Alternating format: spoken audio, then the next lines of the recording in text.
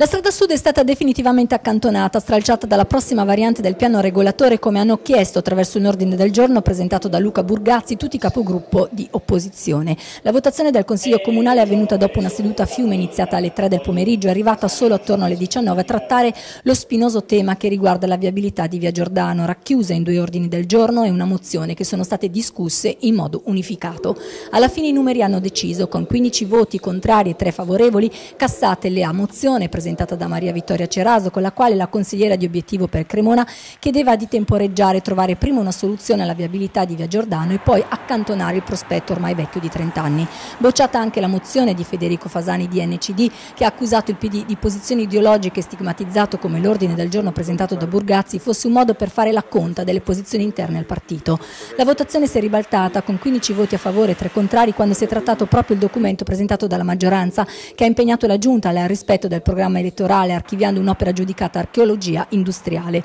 Ora il tavolo è sgombro da quella che alcuni come Paolo Carletti hanno definito truffa politica oppure un barbatrucco, cioè l'immobilismo amministrativo che sventolando da un lato la presenza di una soluzione in un cassetto e dall'altro la volontà di non realizzarla ha tenuto tutti tranquilli, residenti da un lato ed ecologisti dall'altro. Dunque ora si riparte quasi da zero, dall'unica proposta ancora in essere quella della riqualificazione di Via Giordano presentata dall'assessore Alessia Manfredini con il restringimento della carreggiata carreggiata, doppia pista ciclabile, rotonde e rallentatori.